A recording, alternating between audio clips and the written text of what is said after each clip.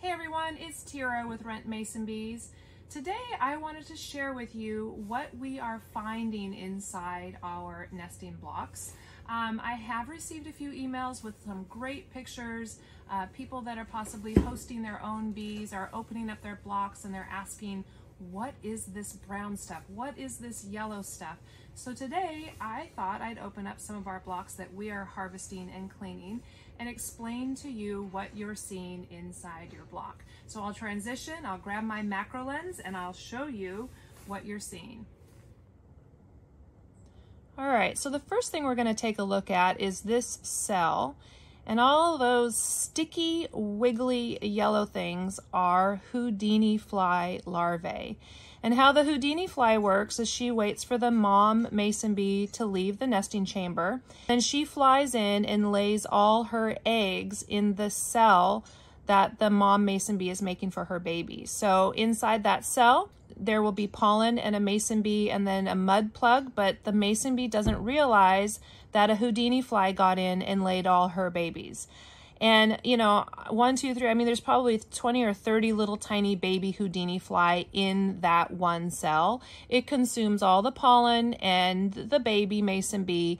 And then these little Houdini fly will stick around until the spring and they'll emerge with the mason bee um, and they'll repeat the cycle of going in and utilizing the mason bee nesting chamber for her own babies.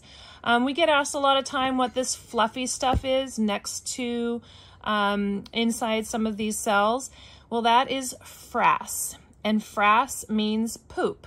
And that type of fluffiness is the Houdini fly frass. So that's Houdini fly poop that you see there. You can see there's some more, they crawl along and they add to that chamber. There's some more frass from the Houdini fly. So, all right, let's take a look at a couple of other things.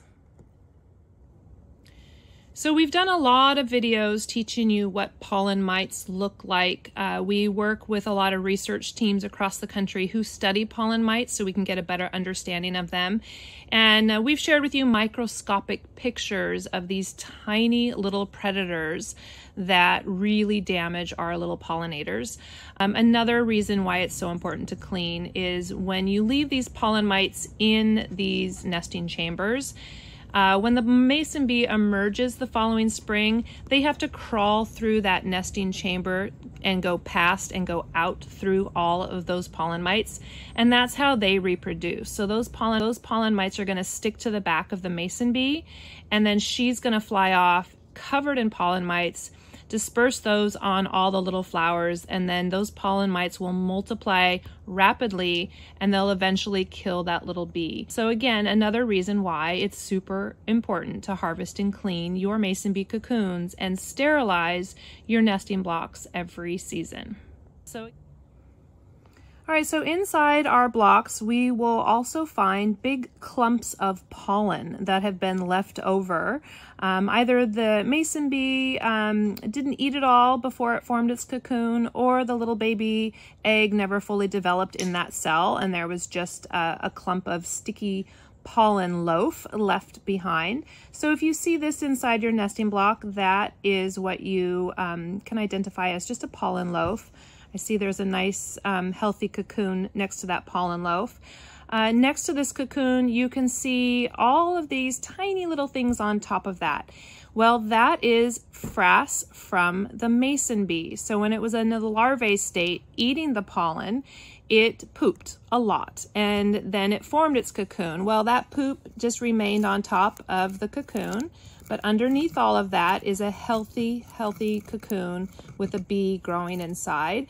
And when we harvest and clean, this is all the stuff that we clean out of your nesting blocks. All the frass, all the mud, all the pollen mites, Houdini fly, all of that gets cleaned and uh, nice healthy bees are returned back into your habitat. So let's see what else we can find. So we haven't seen too much chalk brood this year, which is a really good trend. Um, but this is a uh, little mason bee that got chalk brood on it. So when it's black like that, That is a fungus that um, killed the little mason bee that was developing and growing. So that's what chalk brood looks like if you see that in your nesting chambers.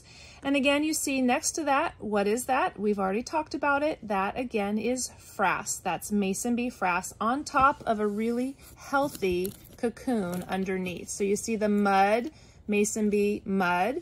That's another nesting chamber with a nice healthy cocoon in there. So we'll extract all of this, we'll clean all this up, and then sort all your little mason bees so they're nice and healthy the following spring.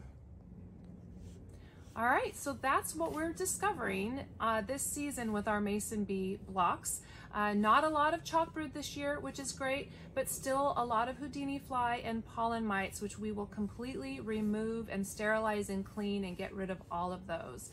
So um, if you haven't sent your blocks back, please send them back. We're finishing up the harvest and we're cleaning everything. We're putting everything into hibernation and we'll get your bees all ready to send to you next spring. Our store is now open, so feel free to place your orders for the following season and give us a call if you have any questions. Thank you. Happy pollinating.